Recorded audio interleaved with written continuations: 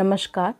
अक्सर आपने सुना होगा कि महिलाओं में प्रेगनेंसी के दौरान खुजली की सबसे ज़्यादा समस्या होती है। फिर चाहे वो ब्रेस्ट में खुजली हो रही हो, चाहे पैर के तलवे में हो रही हो पेट में खुजली हो रही हो।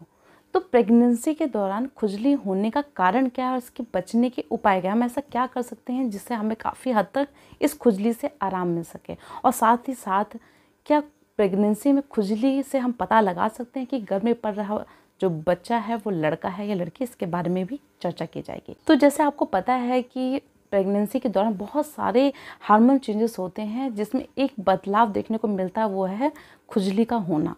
तो प्रेगनेंसी के दौरान महिलाओं को खुजली होने के चार मुख्य कारण होते हैं। पहला मुख्य कारण है गर्भाशय या पेट का बढ़ना। जैसे जैसे बच्चा बढ़ता है, वैसे वैसे गर्भाशय भी आपका बढ़ने लगता है, जिसकी वजह से वहाँ की जो स्किन है, उसमें खिंचाव आने लग जाता है और वहाँ पर ड्राइनेस बन जाती है। आप में खुजली की समस्या होने लग जाती है। दूसरा जो मेन कारण है, ब्लड प्रेशर का बढ़ना। जी हाँ। बहुत सी महिलाओं को ब्लड प्रेशर की शिकायत होती है, पर जिन्हें सबसे ज़्यादा ब्लड प्रेशर की शिकायत होती है, जिसकी वजह से उनको पेट में और ब्रेस्ट में खुजली होने की समस्या होने लगती है।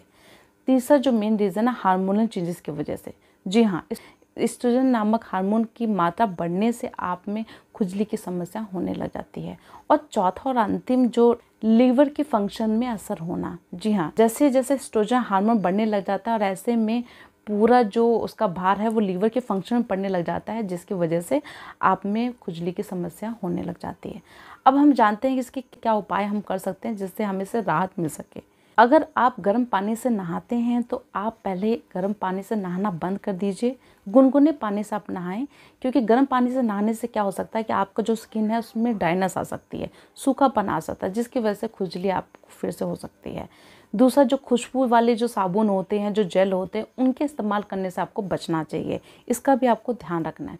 तीसरा, जो भी आप कपड़े पहनते हैं, वो एकदम साफ़ सुथरे सूती के कपड़े आपको पहनने हैं, जिस वजह से आपका जो मॉइस्चर है, वो मेंटेन रह सके और आप में किसी तरह का कोई सूखापन या डाइनस ना हो पाए।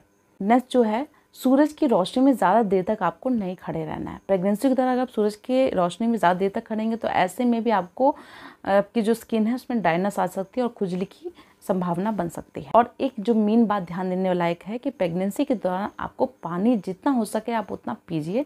आठ से दस गिलास पूरे दिन में आप पी सकते हैं।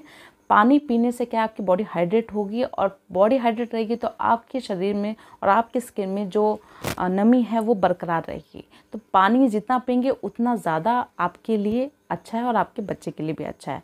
तो पानी का सेवन ज़रूर कीजिए प्रेगनेंसी के दौरान।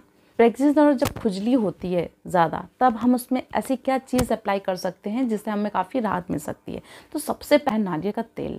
जी हाँ नारियल का तेल बहुत ही ज़्यादा पावरफुल है आपके खुजली की राहत को कम करने के लिए। तो जब भी आपको खुजली होती है, आप नारियल का तेल अप्लाई कीजिए, अच्छे से लगाइए और उसको प्रॉपर जो मॉइस्चराइजर है उसे दीजिए ताकि आपको खुजली की संभावना कम हो सके। दूसरा, आप एलोवेरा जेल भी लगा सकते हैं। अब लास्ट हम क्या कर सकते हैं? ठंडे बर्फ़ की सिकाई कर सकते हैं। अगर आपको खुजली बहुत ज़्यादा हो रही है तो ऐसे टाइम पे आप ठंडे बर्फ़ की सिकाई भी कर सकते हैं। इससे भी आपको बहुत ज़्यादा आराम मिलेगा। तो ये तो रहे कारण और उपाय जिससे आपको बहुत ज़्यादा हेल्प मिल सकती है। अब हम बात करें लास्ट क्वेश्चन की। बहुत से लोग पूछते हैं कि प्रेगनेंसी के दौरान अगर हमारे ब्रेस्ट में खुजली हो रही है तो हमको लड़की होगी या प्रेगनेंसी के दौरान हमारे पेट में खुजली हो रही तो लड़का होगा तो क्या ये सही है? तो यहाँ पे इसका आंसर मैं आपको बताना चाहती हूँ कि ऐसा बिल्कुल भी नहीं है। ये पूरी तरह से गलत है और वैज्ञानिक तौर पे इसकी कोई भी पुष्टि नहीं की गई है। आप इसके चक्कर में मत पड़िए, एक माँ के लिए एक लड़का लड़की दोनों ही बराबर हैं। तो आशा करती हूँ कि आप ये बात समझ गए होंगे और अगर आपके कोई भी डाउट हो या कुछ भी आपका एक्सपीरियंस शेयर करना हो तो आप ज़रूर कीजिए और तब तक बने चैनल पर नमस्कार।